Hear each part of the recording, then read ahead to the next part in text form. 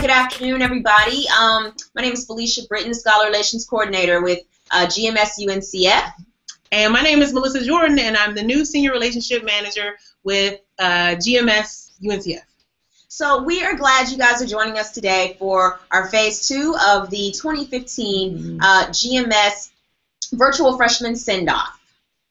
So for today's send-off, um, we're going to do a little welcome, opening rem remarks, staff introductions. Um, the things, that the key topics we're going to we're to talk about today is um, a brief overview of our previous virtual send-off, part one. Uh, some of you may have uh, been able to join in on that. Some of you may not have, so you'll get a brief overview, overview for all of you who didn't. Um, we're also going to talk about the top five success strategies for campus life. Um, we're going to discuss the leadership conference um, reminders and highlights and we will then discuss the GMS Ambassador Program, strategies for outreach. Also, uh, we will have then a live Q&A at 7 p.m. Eastern Standard Time.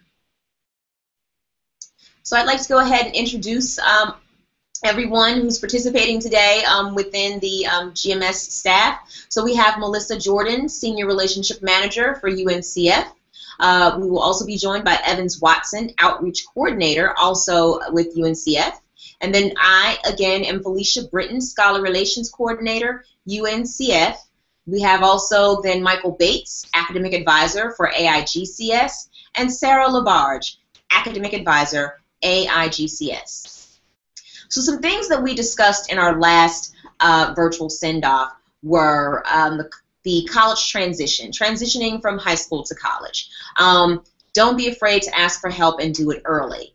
Um, so basically, if you are dealing with any uh, academic challenges, you know, don't be afraid to seek help from tutors, professors, um, academic advisors on your campus. We also discussed the importance of pursuing your passions and strengths, following your bliss uh, in pursuit of your um, major of choice and your ultimate career goals. Um, then we had as some one of our colleagues uh, touched on the importance of managing your scholarship funds responsibly, and then we wrapped up with um, the importance of um, fiscal responsibility, personal financial literacy 101.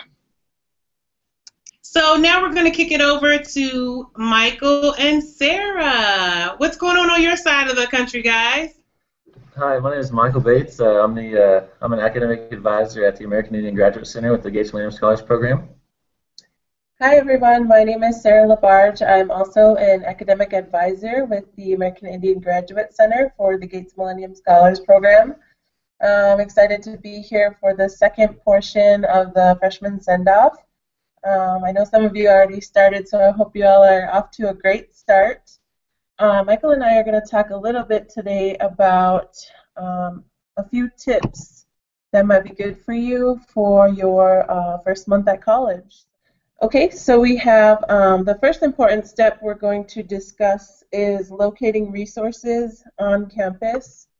Um, in the first month of campus life, it's really important to locate key individuals and resources that will help you um, succeed throughout your academic career.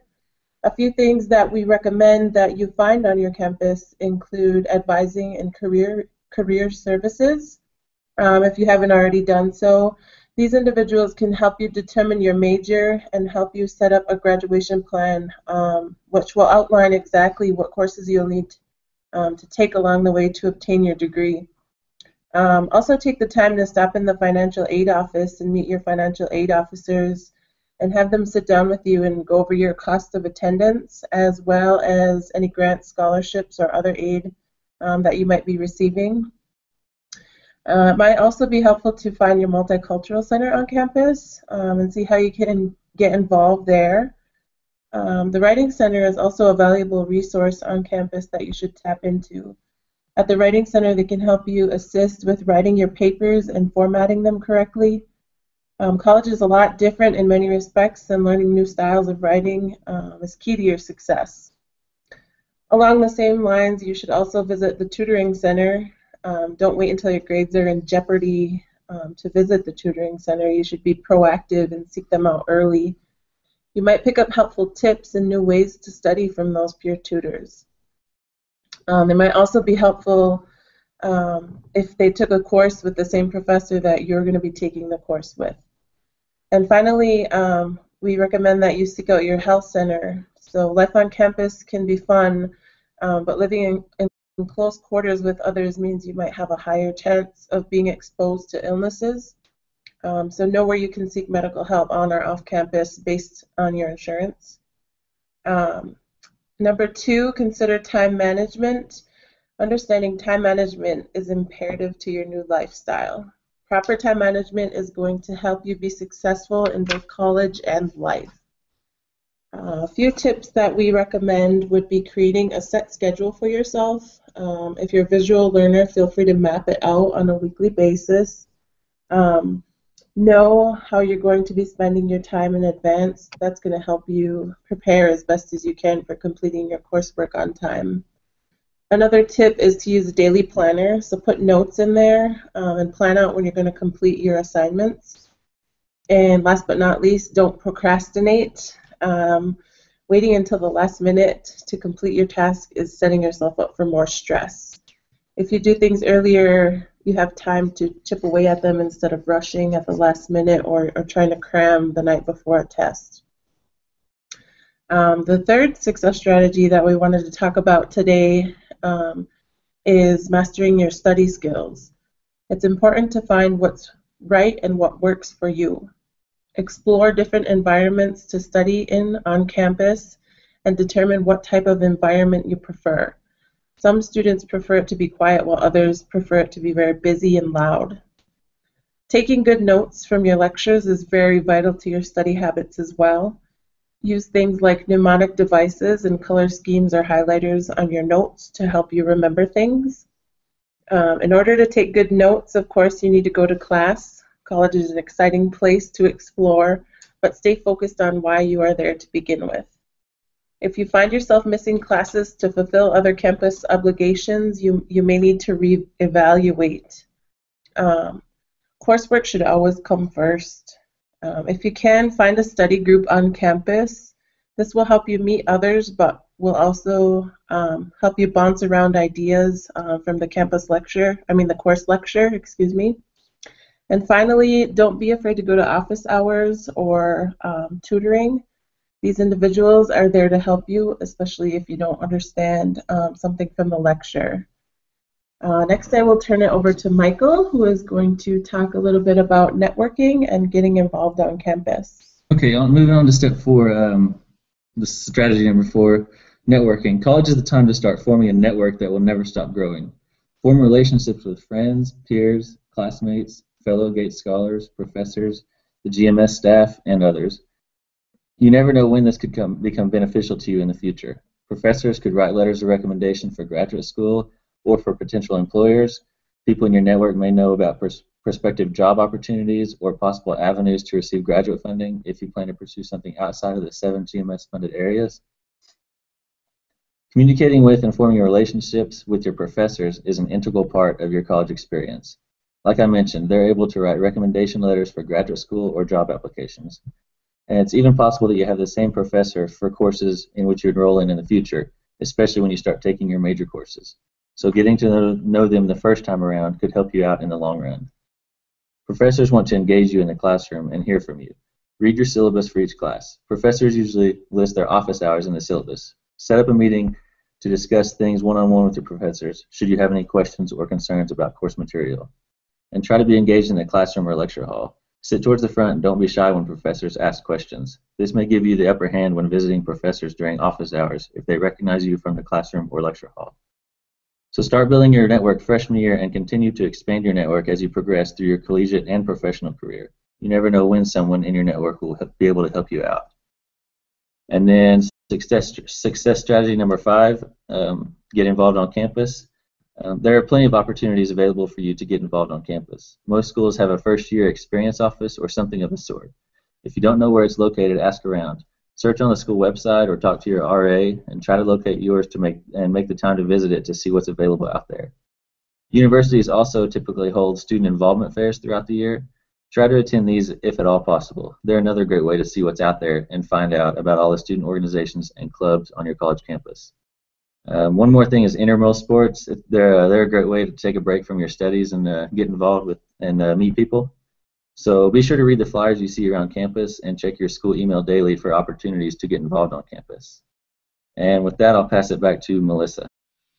All right. Thanks, Michael and Sarah. All right. So next up, we're going to talk about dun, dun, dun, the Leadership Conference. Yay!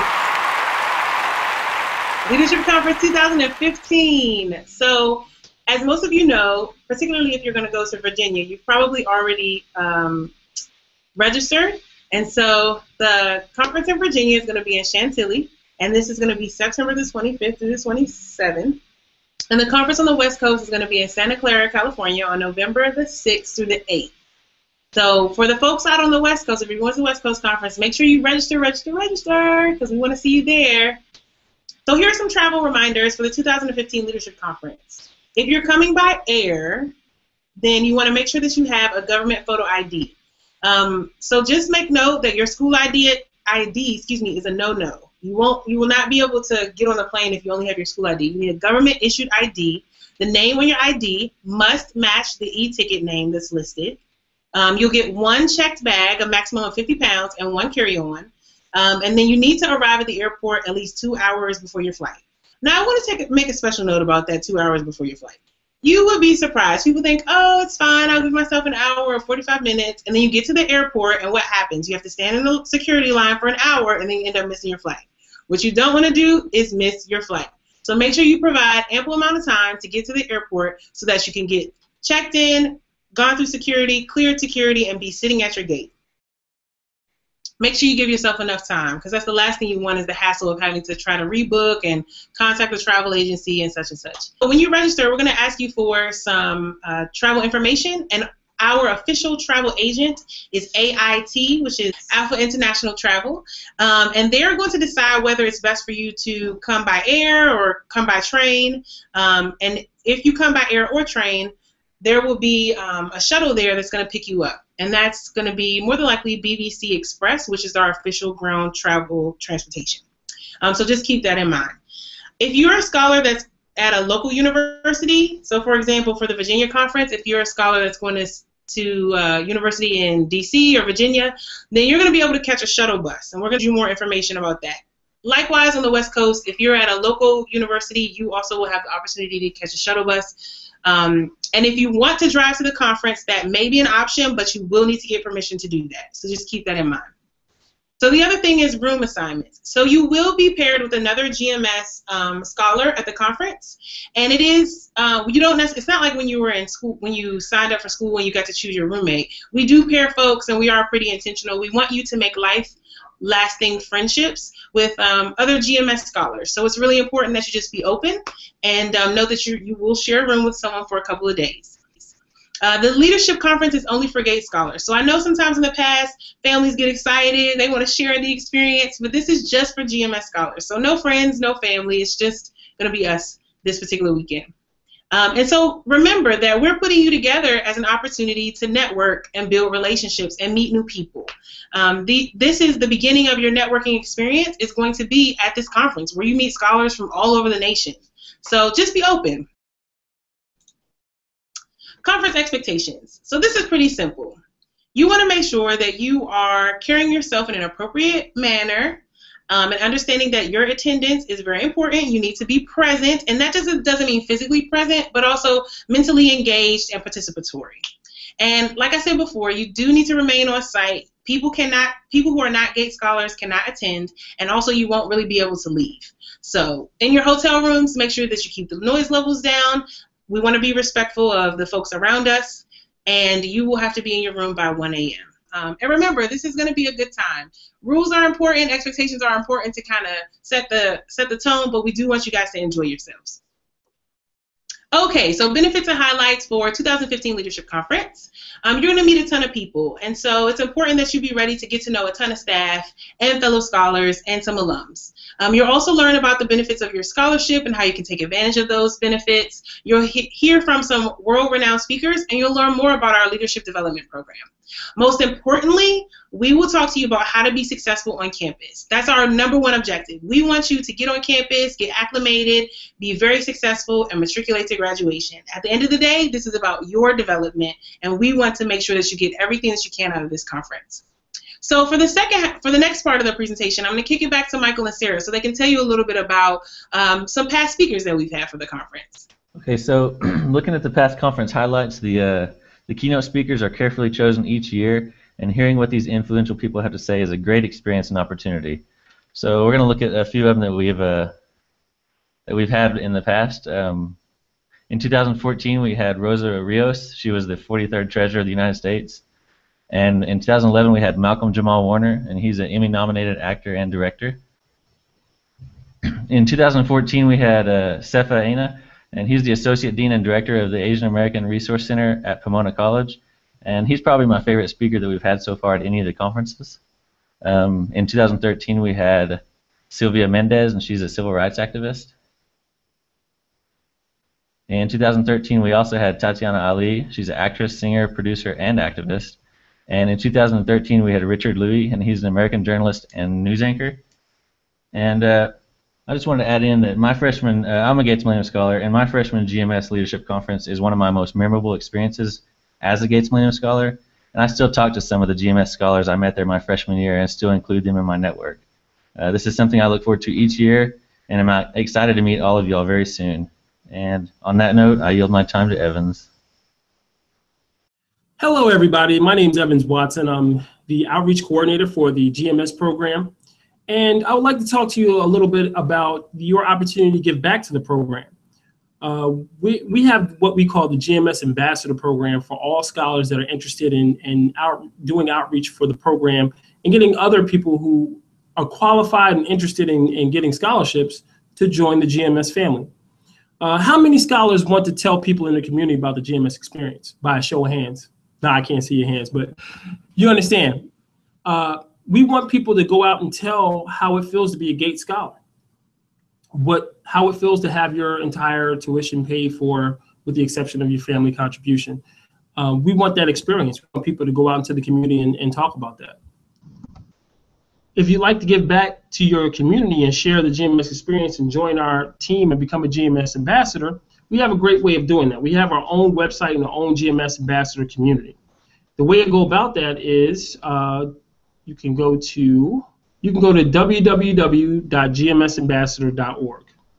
Um, sign up there, and you'll you'll see a lot of information about what ambassadors do, um, what we ask from our ambassadors, and how they should conduct themselves when they go out on outreach opportunities. Uh, one of the things we can do is host a GMS application workshop. And a workshop is nothing but uh, you talking to scholars on how to complete their GMS applications. How do you complete your essays? Um, how many words should your essay be? Um, what should be the content of those essays? And how do you go about finding and identifying a recommender and a nominator? Um, the other thing that we can we ask GMS ambassadors to do is to go out to outreach events. Um, we have outreach events all over the country. And some of these events we can't get to. They're in remote areas. Um, we can't be all over the country at once. We have a very small team, unfortunately. But you can go back to your own high school or your community and go back and talk about the GMS experience. And we can send you materials to uh, improve your outreach abilities and also uh, give you training on how to give the GMS PowerPoint. Um, also, you can make a GMS presentation, and that ties in with the GMS PowerPoint. We can train you on how to use that PowerPoint and talk about to not only parents but also students about how do you sign up and, and apply for the GMS uh, GMS scholarship. Uh, the fifth part is the tweet and Facebook post about the application and GMS outreach events.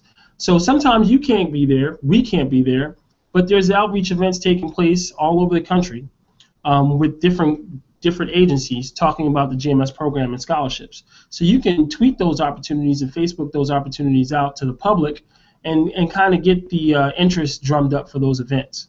All right? And last but not least, um, I just want to know do you want to become a GMS ambassador? Because if you do, we have a lot of great gifts and, and, and outreach opportunities and events for you to give back to. All right? And the best way to get to become a GMS ambassador is go on to www.gmsambassador.org and sign up. So uh, I'm looking forward to having all of you in, incoming scholars sign up at www.gmsambassador.org and join the GMS Ambassador family. And we can, with you guys on board, we can improve and enlarge the footprint of the GMS program to include all communities. Um, we're also asking uh, all incoming scholars to tweet the following every Friday at 12 p.m. and 3 p.m. Hashtag apply to GMS and hashtag 20K strong. Um, we want all scholars to kind of get the word out to uh, other students who may be qualified and interested in applying for the scholarship to uh, apply. We want to get the word out to, to have more applications so we can have more qualified scholars join our program. Um, tweet that information out, Facebook that information out, get the word out to all the folks in your community about it, uh, and let them know that this is a great program to be a part of. And if you have any questions, you can go and ask the following people. You can ask uh, Stacy Lewis at the API ASF office. You can ask Michael Bates and Sarah Labarge. You can ask, uh, well, there with the AIGCS office. You can ask Paulette Palafox with the HSF office. And you can ask me, Evans Watson, if you are uh, part of the UNCF office. So if you have any questions, make sure you uh, ask them when we have our question and answer period. And most importantly, sign up and become a GMS ambassador. Go to www.gmsambassador.org. All right? Thank you very much for your time. Have a great day. This is me signing off. That was awesome. So we've told you a lot of information. We've given you a recap of the first virtual send-off. Um, we're excited about the conference. And so we hope that you all will join us for a live question and answer with a wonderful panel of professionals that are here to answer your questions. So by this time, it should be 7 o'clock Eastern Standard Time, and we want you to catch us on the YouTube channel connected to Gates Millennium Scholars so that we can answer your questions. Uh, hopefully, we'll see you guys there. Thanks again. Have a great day.